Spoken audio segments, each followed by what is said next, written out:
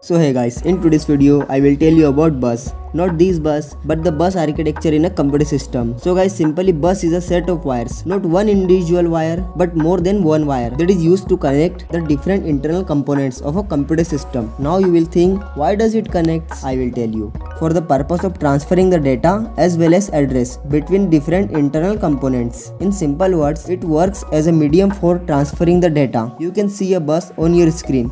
It is a bunch of wires that are stuck parallelly. Guys, there are two types of bus. The first is data bus and the second one is address bus. There is also a third bus, the control bus. First we talk about data bus. Its name itself give the idea of its working means it is used to transfer data in between the different internal components also the address bus transfer the memory addresses for the read and write memory operation so guys this was my little overview on the bus and if you learn something from this video then like it and subscribe to see